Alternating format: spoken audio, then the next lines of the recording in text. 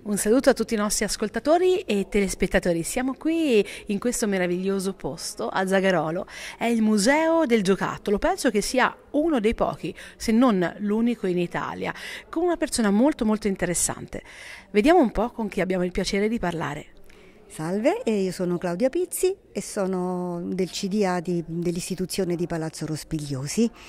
E sono qui dal, da circa cinque anni, da quando c'è stato appunto il rinnovo del comitato di amministrazione e con le ultime elezioni quando è stato fatto sindaco il dottor Lorenzo Piazzai. Questo museo eh, risale eh, al 2005, la nascita è ad allora, è un museo demo-antropologico, eh, tutto sul giocattolo e sui giochi soprattutto, anche giochi. E in questo museo vengono svolte tantissime attività, mostre monotematiche e non. E che dire, un invito a chi vede questo nostro spot a visitarci. Zagarola è un paese molto piccolo, ma siamo molto accoglienti.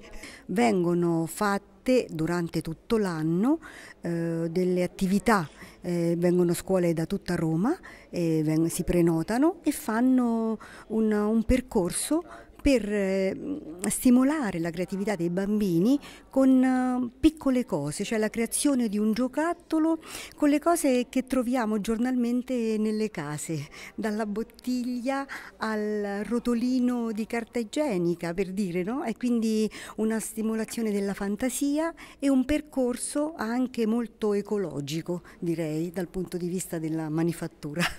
Quindi un laboratorio di riciclo per creare qualcosa di interessante che, che alletti un po' ecco, appunto la creatività. Sì, sì, esattamente questo. Il riciclo è veramente la parola giusta per le attività che svolgono le ragazze del museo.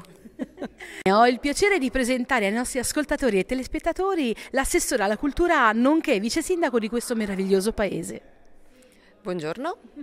Sono Emanuela Panzironi, assessore alla cultura e vice sindaco di Zagarolo. Innanzitutto benvenuti nella nostra dimora storica, nel bellissimo Palazzo Rospigliosi. Siamo onorati di essere stati riconosciuti dalla Regione Lazio una delle dimore storiche e eh, proprio eh, diciamo, per questo eh, siamo molto attivi sul territorio e eh, lavoriamo molto in collaborazione con tutte le iniziative della Regione Lazio.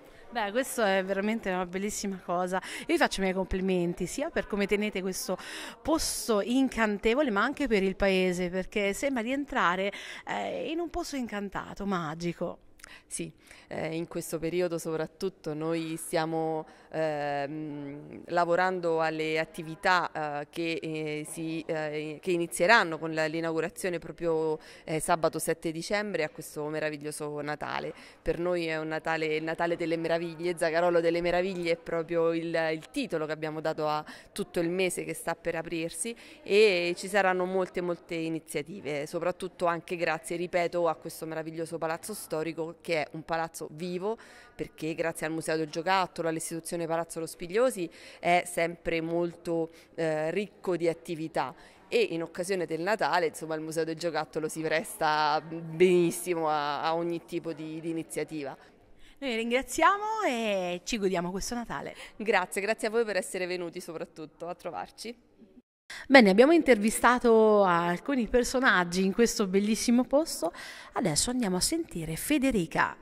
Buongiorno. Buongiorno carissima. Allora ci si ritrova dopo tanti anni, eh, quasi per magia, in questo Natale qui a Zagarolo. Sì, con immenso piacere che ti ritrovo e vi ritrovo tutti quanti. Siete arrivati in un posto bellissimo che è il Museo del Giocattolo, ci troviamo appunto a Zagarolo e questo museo esiste in forma permanente dal 2005, prima erano solo esposizioni temporanee, poi questa cosa è andata avanti e quindi è diventato un museo a tutti gli effetti. E due sale in particolare cambiano ogni 3-4 mesi. Quest'anno abbiamo deciso di dedicarle tutte al nostro amico Antonio Russo, il collezionista più grande di Barbie, almeno in Italia, che abbiamo e lui ci ha fatto questo magnifico regalo di dedicarci tre mostre temporanee dedicate appunto a Barbie. Siamo qui a fare una cosa incredibile. Per un anno intero il museo ha fatto una mostra dedicata a Barbie che quest'anno ha compiuto 60 anni e adesso siamo all'ultima tappa, l'ultimo appuntamento con questa mostra dove dopo aver mostrato Barbie com'era e chi era, come si poteva giocare, ora vediamo come si colleziona e quali sono gli oggetti da collezione. È una mostra faraonica immensa, abbiamo messo in piedi quasi 300 pezzi. La mostra sarà visibile fino a marzo, quindi tutto il periodo di feste fino a marzo. Beh, veramente una bella cosa, non se ne trovano, diciamo così, di mostre tutti i giorni e in qualsiasi luogo. La soddisfazione del cliente è il nostro obiettivo. Aton è una cooperativa sociale che opera nel settore dei servizi per la pubblica amministrazione e per le aziende. Un team giovane e motivato. La nostra missione è creare lavoro. La nostra esperienza è a disposizione per risolvere tutti i problemi connessi alla vostra attività. Lavoriamo con voi per la manutenzione del verde, la gestione dei giardini, le installazioni di prato a rotoli e impianti di irrigazione, impianti di allarme e videosorveglianza, servizi di pulizie, piccole manutenzioni, facchinaggio e traslochi.